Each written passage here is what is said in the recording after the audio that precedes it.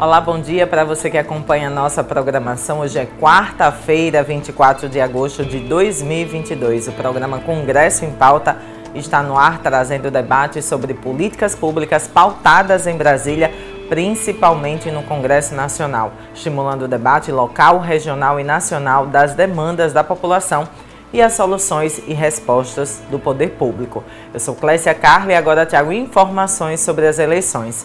Congresso Nacional tem feito uma série de reportagens a respeito das eleições para aumentar o diálogo sobre direitos e consequências do processo eleitoral. Na semana passada, o tema dos votos brancos e nulos entrou em pauta. Muita gente interpreta de forma equivocada como esses votos entram no cálculo para as eleições. A verdade é que eles são descartados. Ou seja, mesmo que metade dos eleitores vote branco ou nulo, a eleição não é anulada. O descarte desses votos está expresso na própria Constituição. Para o cargo de presidente da República, por exemplo, é eleito o candidato que obtiver a maioria absoluta dos votos, excluídos os brancos e nulos. A única interferência dos, dos votos brancos e nulos é diminuir a quantidade de votos que uma candidatura recebe pois somente os votos válidos são computados. Mas essa diminuição não favorece nenhuma candidatura específica. Bom, esse é o nosso recado de hoje sobre eleições para você que acompanha aqui o programa Congresso em Pauta. A partir de agora, né, vamos tratar do tema do programa de hoje, a Lei 14.408 de 2022. Essa lei, sancionada em julho deste ano, permite que emissoras de rádio e de televisão construam toda a sua programação a partir de programas produzidos de forma independente. A lei teve origem no projeto de lei de número 5.479 de 2019, que foi aprovada em junho no Senado. De acordo com o autor, a proposta tem o objetivo de evitar processos do Ministério Público Federal contra emissoras. Ela, ele se refere às ações movidas poucos meses antes da aprovação do, do projeto, por exemplo, contra a cessão de espaço para igrejas. Além disso, uma decisão de maio deste ano da Justiça Federal condenou os canais da TV da Band e da Record a reduzirem o, tema, o tempo de venda de programação para 25%. Para debater sobre o tema, recebemos hoje aqui no Congresso em Pauta Marcos Urupá, que é representante do Fórum Nacional pela Democratização da Comunicação, entidade que reúne instituições que atuam em pesquisas sobre a comunicação no país. Seja bem-vindo aqui ao Congresso em Pauta, Marcos, para a gente discutir um assunto que muitas vezes aí não está na pauta do dia a dia do brasileiro, né? E que o brasileiro só percebe aí, ou às vezes nem percebe, assistindo aí a sua programação de TV aberta. Marcos, como vimos aí né, no início do programa que eu falei, o autor do projeto afirma que o objetivo da lei é evitar processo contra as emissoras, principalmente relacionado ao conteúdo de igrejas. O que era que estava acontecendo? Bom dia, Clécia. Bom dia Bom a todos dia. os colegas que estão aí por trás e à frente do programa Congresso Pauta, a toda a equipe de comunicação em geral da TV da Assembleia Legislativa de Sergipe aos produtores e aos colegas de imprensa de maneira geral também. Nós, eu estou muito feliz de estar aqui dialogando com você sobre isso e obrigado pelo convite.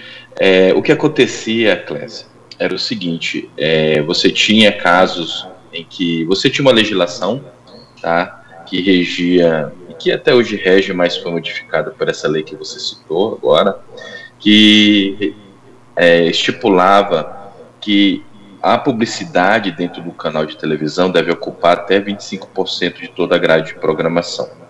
Isso significaria, dentro de uma programação de 24 horas, algo em torno de 6 horas, mais ou menos, de publicidade.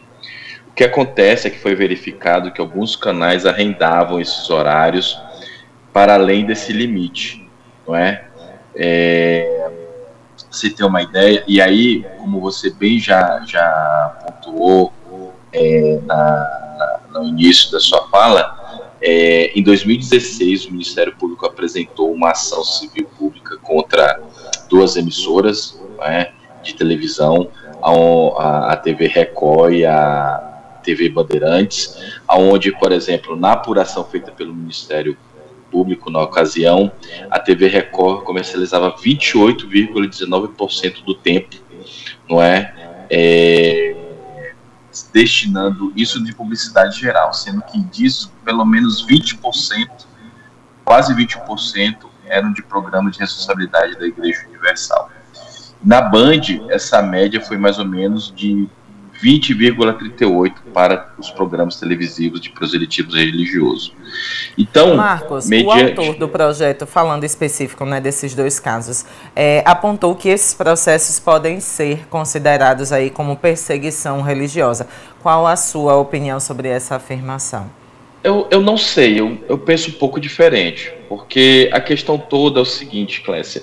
A rádio e televisão, elas têm uma tarefa social a cumprir. Não é proibido você discutir ou abordar religião nesses canais de televisão. O que acontece é quando você utiliza e coloca apenas um aspecto religioso dentro de uma concessão pública. Rádio e televisão tem, são concessões públicas. É o Estado que otorga a uma empresa a execução desse serviço. Digamos que ele terceiriza a execução desse serviço.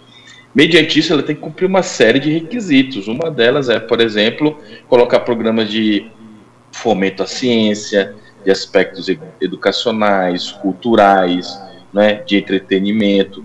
O que acontece quando você tem mais um, um, uma grande é, fatia dessa programação destinada a um segmento religioso, aí você tem problemas sobre isso. Então não, não se trata, a meu ver, de uma perseguição religiosa. Você pode sim é, discutir religião, apontar aspectos religiosos, mas não de uma maneira favorecendo, por exemplo, é, para apenas um segmento religioso um quase 30% de todo o seu tempo de programação numa televisão aberta que atinge milhões. Né? Alguns pesquisadores, inclusive, chamam isso de igrejas eletrônicas, né? porque você está ali, na verdade, o que, é que você vê ali, na verdade? Você vê um culto, uma, uma pregação, não é? Se isso fosse feito para diversas religiões, ou se tivesse um programa em específico, como nós temos, por exemplo, o Congresso em Pauta, que discutisse aspectos religiosos que estão inseridos na cultura brasileira, não se pode negar isso, né? mas que abordasse também, por exemplo, a afro-religiosidade, aí nós teremos uma emissora começa cumprindo seu papel. Mas o que se observa é uma relação comercial onde apenas um segmento é favorecido. Então não há perseguição religiosa, meu ver. O que se tentou se colocar aí, dentro dessas ações e com essas decisões da justiça, foi o cumprimento da lei. Primeiro, né, porque você qualifica esses programas como produção independente. Ora, é produção independente só porque ela não foi feita nos estudos de emissora, mas ela tem um viés, ela tem ali um caráter muito bem definido do seu perfil. Né? E segundo, é, você tinha um regramento de cumprimento de 25% de publicidade. A inovação nessa lei, aí já entrando no aspecto legal do que diz a nova lei, Clécia, que eu acho que isso é importante, ela traz uma inovação. A primeira delas é que ela explica o que é publicidade. Né? Publicidade, na nova legislação, é exibição de produtos, não é? equipamentos, é, é, ela coloca o, o, conceito do que é publicidade comercial, restringindo isso a produtos e serviços aos consumidores e a promoção de marcas é, e imagens de empresa. O que está fora disso não é considerado publicidade. A decisão da justiça que condenou Band Record na época, em maio, ela colocou que, olha, o juiz foi muito claro. Disse, olha, apesar de não ter um produto, de não ter uma marca, de não ter uma empresa por trás, mas é uma relação comercial onde há uma venda de horário, há um arrendamento de horário, há uma transação comercial ali, não é? Então, por conta de existir isso, isso entra dentro da cota de publicidade, já que é um horário vendido da, da, da grade da programação. Que publicidade na televisão e no rádio é isso, né? Eu chego e contrato, olha, eu quero 30 segundos, um minuto para exibição da minha marca, do meu produto, por tantas vezes ao dia, ou por X vezes ao dia. Então é isso que acontece. O mercado, ele, resumidamente, ele gira em torno disso. Então a justiça, na, na ocasião, entendeu dessa forma a lei 9 traz o conceito e restringe o que é essa publicidade, não é?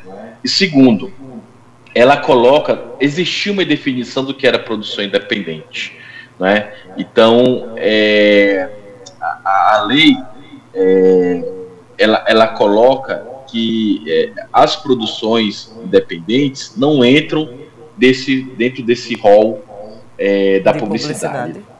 Não entra. Então, para a gente continuar você... essa, essa discussão, eu gostaria de trazer aqui um trecho da lei, vou pedir para a produção colocar aqui, para a gente ler para os nossos telespectadores né, e internautas, é, que ela identifica que as concessionárias e permissionárias poderão transferir comercializar ou ceder o tempo total de programação para veiculação de produção independente, desde que mantenha sob seu controle a regra legal de limitação de publicidade comercial e a qualidade do conteúdo da programação produzido por terceiro, para que atenda ao disposto aí, né, na linha do caput da lei, além de responsabilizarem-se perante o poder concedente por eventuais irregularidades que este vier a constatar na execução da programação. É, é, Marcos, com relação a, a, esse trecho na lei, né, é, como é que o Fórum Nacional da Democratização de Comunicação avalia essa questão da venda total da programação? E eu gostaria também que você falasse sobre como é, como é que vai ser essa fiscalização, já que o Fórum também critica a ausência dessa fiscalização, né, que já acontecia. É, é então, olha só, como você bem perguntou, vou começar pelo final. Não sabemos como vai ser essa fiscalização. Não, há, não há um, ainda algo muito definido sobre isso no Ministério das Comunicações. É, na, a nosso ver, é, a lei ela traz muitos problemas, não é? é, é primeiro que ela é, é, legaliza um modelo de negócio sem limites, ou seja, eu posso ser dono de um canal de televisão, não é? E não ter nenhuma obrigação é, com programação local, com entretenimento local, com cultura local, e só arrendar aqueles horários e ganhar dinheiro em cima daquilo, é, sem o compromisso legal de fomentar educação, cultura, entretenimento. Então, esse é um, um dos primeiros é, problemas que essa lei traz. O segundo é você qualificar proselitismo religioso como produção independente. Eu estou falando aqui numa produção independente, por exemplo, de uma série de TV produzida com fundo setorial do audiovisual, com uma produtora independente, é, e colocar aquilo na minha televisão, eu estou colocando nesse mesmo balaio, nessa mesma cesta, o conteúdo produzido por uma igreja, seja ela qual for. Então, é, isso é muito problemático nosso isso é muito problemático porque, primeiro, não discute de uma maneira qualificada a religiosidade, não é? Não, não, não apresenta a diversidade religiosa que existe no Brasil de uma maneira qualificada, adequada, não é? E segundo, é, coloca um bem público, que é o espectro eletromagnético, que é por onde é, são transmitidos os sinais de rádio e televisão aberta, é, a serviço de um modelo de negócio sem compromisso algum com aquela localidade onde aquela televisão é transmitida. Então, esses são, por exemplo, dois graves problemas que nós enxergamos não é, é dentro dessa nova legislação. É, outra questão que você falou, né, do conceito de publicidade, né? A, a, nova lei também muda esse conceito, né, de produtos e serviços de produção de, e promoção da imagem e marca de empresas. Agora, os conteúdos institucionais e de publicidade legal, né, deixam de ser deixam de ser considerados como publicidade. Na prática, o que é que isso altera para o telespectador que está do outro lado da tela? Na prática é o seguinte, ele vai conseguir ver mais publicidade institucional. Publicidade institucional entende são geralmente é, é, não só campanhas educativas, mas também é, publicidades governamentais. Quando você pega a publicidade institucional de governo, seja ele municipal, estadual ou federal, é, você tem ali a divulgação de uma série ou de serviços ou de uh, de alguma nova obra realizada, isso é publicidade institucional. O que você vai ver é que um aumento disso, é? e o poder público é o que alimenta em, em, uma fatia significativa os cofres dessas emissoras. Né? Então, é, é, é, muito problemático, no fundo, de uma maneira geral, Clécia, essa amplitude do que, que vai ser publicidade nos canais de televisão. Nós corremos o risco de ter na televisão aberta, a depender de como você desenvolver, que essa lei é nova, essa mudança é nova, ela é de maio para cá. É, televisões abertas onde você pode ter venda de produtos e publicidade e propaganda de governos quase que 24 horas agora. Isso sem contar nos horários religiosos destinados às igrejas eletrônicas, né, como a, a, literatura acadêmica e pesquisa de comunicação aponta. Então, é, é, é, isso que no dia a dia pode acontecer. É aquela. É, e, agora tem uma coisa que eu quero ressaltar. Isso acontece em determinados canais. Né? Mas são canais que têm audiência e estão na televisão aberta. A televisão aberta ainda é o maior, é, junto com o rádio, o serviço de radiodifusão aberta, são serviços universalizados no Brasil. Eles alcançam o Brasil de ponta a ponta. De ponta a ponta, você tem acesso à televisão e ao rádio. Então, é, você pode ter dentro da na televisão aberta esse tipo de programação e é aquele programa de entretenimento, aquele programa cultural, aquele programa educacional é, pode ficar de lado e isso é o descobrimento legal dos compromissos que um canal de rádio e televisão tem com a sociedade. É, Marcos, é, você já disse que a gente já discutiu aqui, né, como é que a gente não sabe ainda como é que vai ficar essa fiscalização, mas o Fórum tem alguma sugestão ou está em diálogo com, com, o Ministério, já que o projeto estabelece ainda que as emissoras vão ser responsabilizadas por eventuais irregularidades na programação, além de vedar as concessionárias e permissionárias transferir, comercializar e ceder a gestão total ou parcial da execução do serviço de radiodifusão que é uma concessão pública. Tem algum caminho aí? Olha, Clécia, não estamos em diálogo com o Ministério. Está em processo eleitoral, não é? Então, as agendas, o poder público em Brasília está muito voltado para isso. Eu falo de executivo e legislativo, não é? é você vai na Câmara e no Senado hoje, os corredores estão vazios as sessões existem forças concentradas para aprovação de determinados projetos. No executivo, muitos ministérios estão, é, muitos titulares de, pastas de ministérios estão em campanha, né, estão em processos eleitorais, né, acompanhando candidaturas, é, enfim. Né, então, é, isso torna um pouco a procura por esses espaços agora, nesse momento, algo infrutífero. Né? Mas o FNDC está elaborando uma carta, uma, um documento com uma agenda de, de comunicação para o próximo governo, é, no sentido de é, apontar o que, que pode ser melhorado e o que, que precisa ser urgentemente revogado ou alterado. Né? E isso está dentro desse escopo, por exemplo. Esse aspecto dessa lei está dentro desse escopo, como um dos problemas que precisa ser olhado pelo Ministério pelo futuro ministro ou ministra que vem assumir a área das comunicações. Sobre esse debate, né, é, trazemos também a questão do caráter da concessão no Brasil, tendo em vista que as redes né, e as TVs são concessões públicas. Para falar sobre isso, para a gente continuar discutindo aqui o nosso assunto, eu queria que a gente acompanhasse agora um vídeo é, sobre esse caráter público e sobre a regulação da mídia.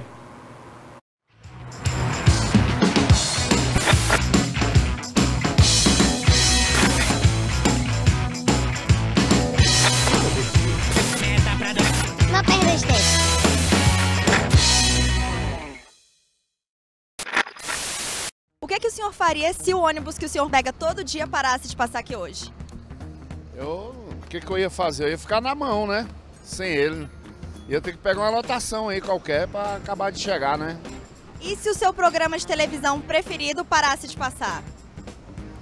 Aí acabava tudo, né?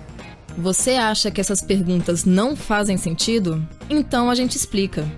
Você sabia que, assim como o transporte e a energia, a comunicação é um serviço público? É pública? Não sabia agora que chega aí. E tem lá tem um dono, ela é ser privada, né não?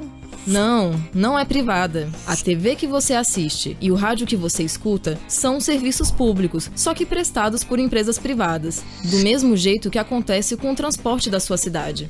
Assim como os outros serviços públicos, a comunicação é um direito previsto na Constituição, mas diferente do transporte, algumas regras para o seu funcionamento ainda não estão claras. Isso tem gerado posições contra e a favor à regulação da mídia, principalmente por conta da retomada da discussão de um novo marco regulatório para a comunicação no Brasil. Mas o que você tem a ver com isso? Como um serviço público, você tem o direito de cobrar que ele seja bem prestado e que atenda algumas regras. Um dos pontos em debate para a regulação da mídia audiovisual é a regulamentação do que está previsto no artigo 54 da Constituição. O artigo diz que deputados e senadores não podem ser donos de rádios e televisões. É certo um deputado, um senador ser dono de uma TV, de uma rádio?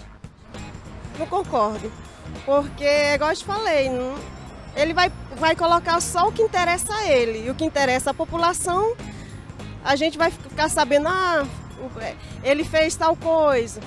E tem coisa lá com, é, como transporte mesmo, né? Que a gente precisa, não tem. Ele vai só colocar aquilo que, que ele acha que é necessário passar.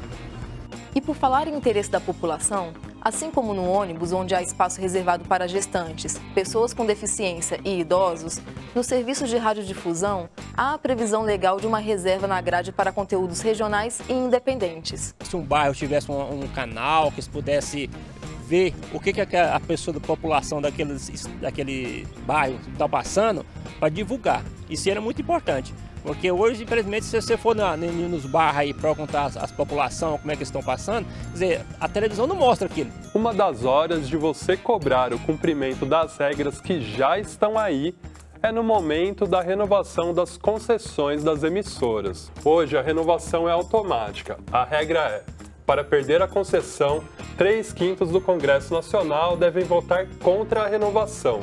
Caso contrário, tudo continua como está. Sabe qual é o problema? que nós faz isso, ó. Nós ficamos acomodados. E por isso que está acontecendo tudo isso. Simplesmente eu espero a sua atitude. Enquanto eu tô aqui, ó. É isso que está acontecendo. Só isso.